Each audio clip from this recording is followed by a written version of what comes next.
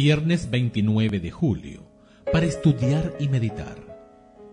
Lee el pecado de Nadab y Abiú y la presunción de Saúl en Patriarcas y Profetas, páginas 373 a la 377, páginas 559 a la 678. Dios ha pronunciado una maldición sobre los que se alejan de sus mandamientos y no establecen diferencia entre las cosas comunes y las santas. Patriarcas y Profetas, página 375. Su presunción fatal, la de Saúl, debe atribuirse al hechizo satánico. Saúl había demostrado gran celo en el exterminio de la idolatría y de la hechicería.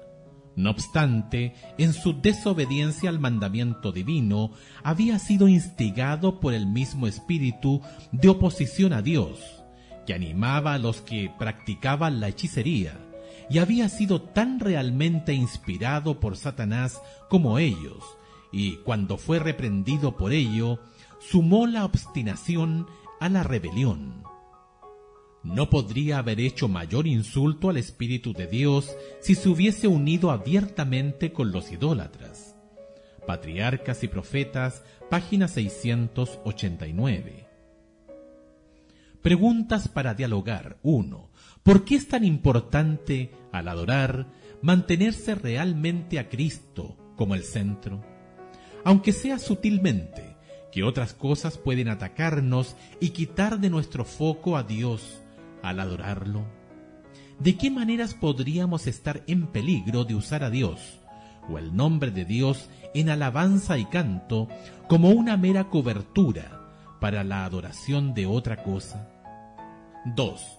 ¿Cuáles son algunas maneras en que podemos ser hipócritas en la adoración?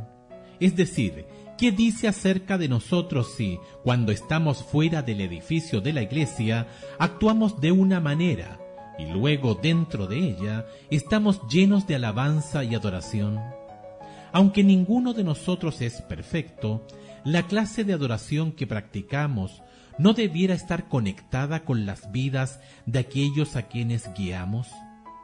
Tristemente algunas personas van a la iglesia, adoran y luego van a casa y abusan de su cónyuge y de sus hijos, o tienen otras conductas malas.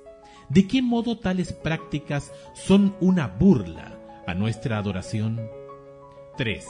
Repasa el versículo para memorizar de esta semana y aplícalo en el contexto de la adoración.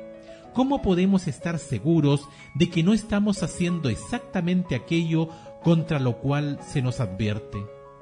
4. ¿Cómo puedes aprender mejor el arte de la adoración, el arte de la entrega propia a Dios? ¿Cómo puedes aprender a estar más cerca de Dios en tu propio tiempo privado de adoración?